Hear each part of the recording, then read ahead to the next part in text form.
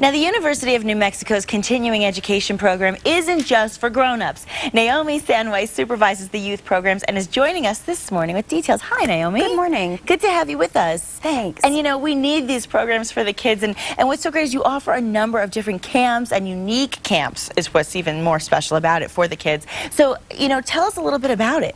Yeah, um, well, right now we've got an awesome spring break camp going on.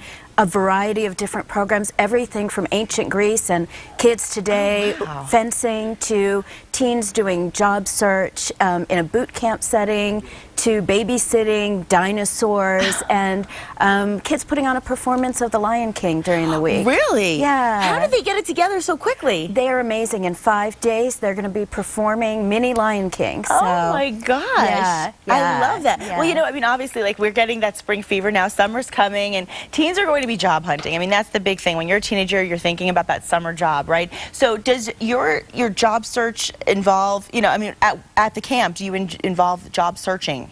Absolutely. Yeah. I mean, it, adults uh, have a challenging job market, so you can only imagine what it's like for teens. Mm-hmm. Yeah. So we try to arm them with everything that they need. Okay. Um, from resume writing, interviewing, techniques to get a job. Really? And by the end of the week, we hope they have the skills to get out there and, and get what they need for summer. And then these amazing. are lifetime skills too, so they can use them in the future. See, what I love about this is that you're giving them a chance to learn something in the process of having a good time, you know? Right. And it's nice to be able to combine the two because sometimes that's tough. And, you know, when you think about teenage jobs, babysitting is really popular among the teens. And you actually offer a babysitting certification program, which I think is so cool. And I have to say that when I was a kid, my babysitters were not that much older than me. So, what's the appropriate age to begin babysitting? Well, it, it depends on the um, teen or preteen who's doing babysitting for Okay. sure. I'd say 12 would be the minimum age. Okay. Um, but and that's when we start our program for certification. And the kids are actually taught by a neonatologist who Really? comes and teaches them everything they need to know about health and, and making sure kids are safe. And then we also bring in um, adults who know how to help kids have fun and do things like read to them and keep it keep it really great. Yeah, because So- you know that's one of those things. You know, you're allowing somebody to take care of your most precious cargo in the whole world, your child, and yet often they don't have any kind of training or certification or anything. So this is a great way to get somebody skilled and, and to understand the art of babysitting, and then they go into it and they have a better chance of getting those jobs and getting paid more, probably too, right? Absolutely. If you can go in there and say, I have first aid certification, CPR, Mm-hmm. I know how what games, toys, and activities are appropriate for this age of child. Yes. Um, and I'm fun and Yeah, love exact- kids. that helps too, right? That's a great combination. Well, give us some details about some of your other camps because it's really it's nice to have this variety for all the diversity of, of all the children out there. Sure.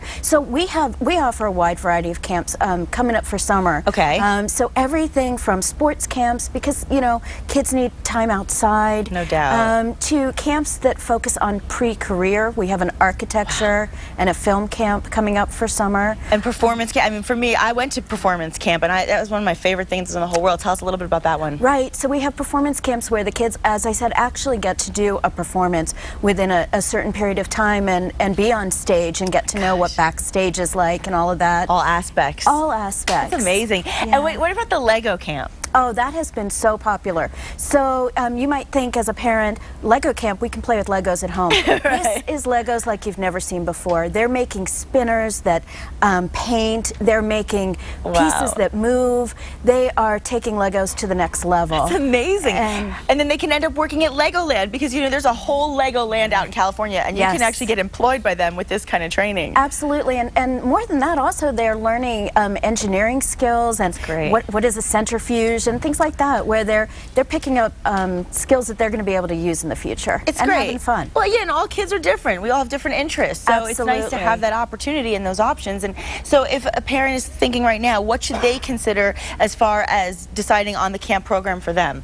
Well, definitely, I'd say the first thing to consider, and I say this as a parent, is you want to make sure that everyone at the camp is safe and background Yes. checked. That's number one. Okay. Um, but after that, what is your child's interest? Are they the kid who wants to be outdoors? Mm-hmm. Yeah. Um, are they socially oriented, or are they going to want to do something like we offer in a, a computer gaming camp, where they get to build games? Oh my so um, it's it. just a wide variety of what your kid wants and then um, making sure that you get that scheduled now because camps have opened. And of course, as we look at the screen right now, we can see how they can register to be a part of one of these camp programs. And Naomi, we really appreciate you being here with us and sharing the information. Thank you so much. My pleasure. Sounds like a great thing. And if you're in the market, find out what's on the market. The Real Estate Outlook is next on New Mexico Style. Don't go away. Thank you.